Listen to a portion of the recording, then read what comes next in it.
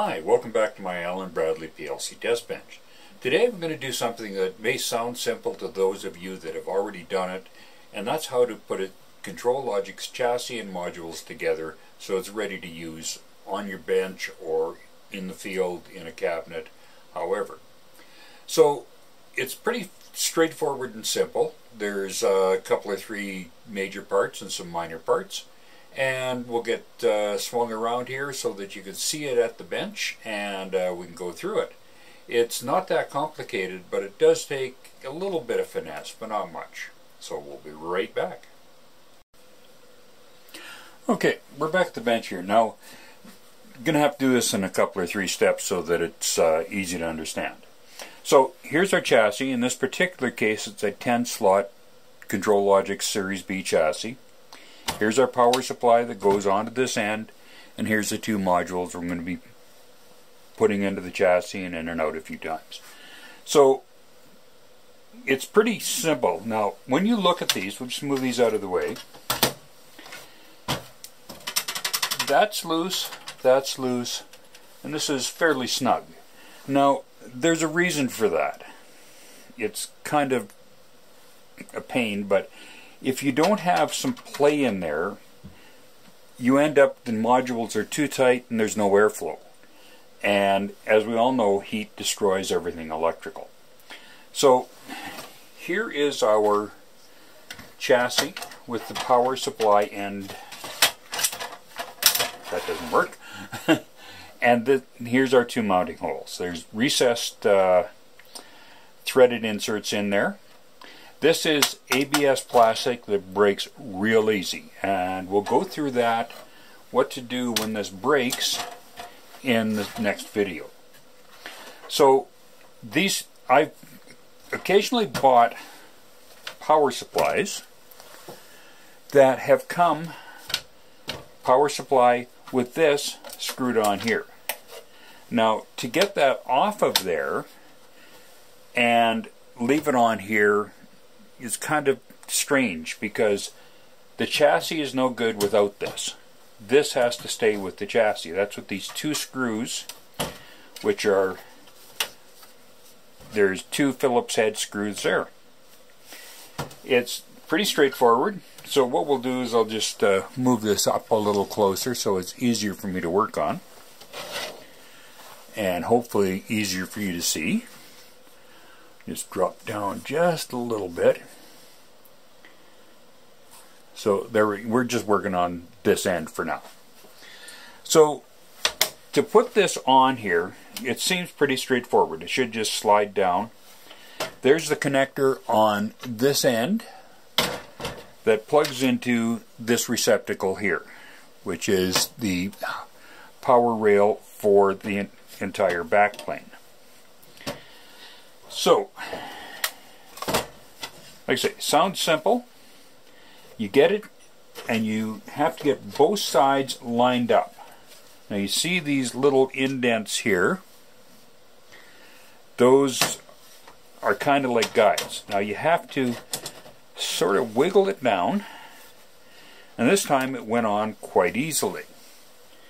You take your number two Phillips or red Phillips screwdriver, which I should have had set up, but I didn't. And you just tighten them down.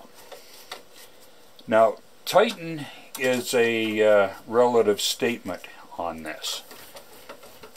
Is you want them snug, but remember, you're dealing with metal screws inside of uh, a plastic piece that breaks easy.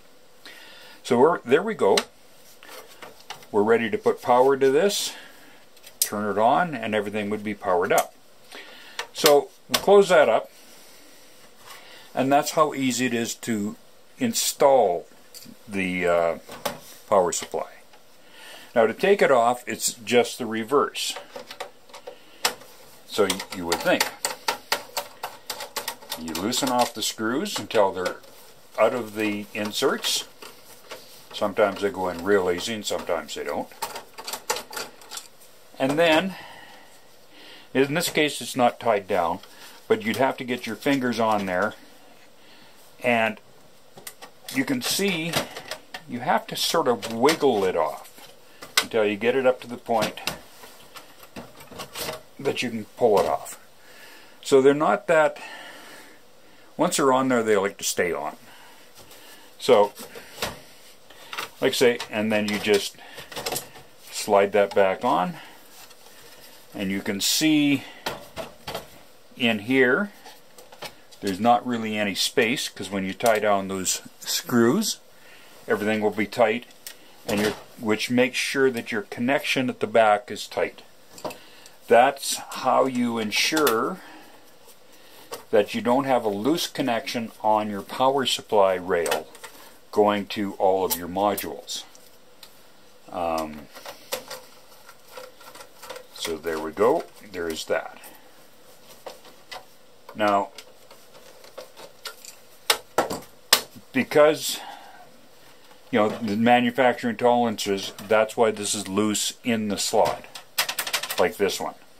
There's not a lot of play, but there's a little bit.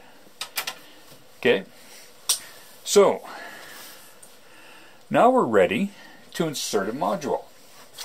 So in this case, We'll start out with a communication module. This is just an old uh, ENET.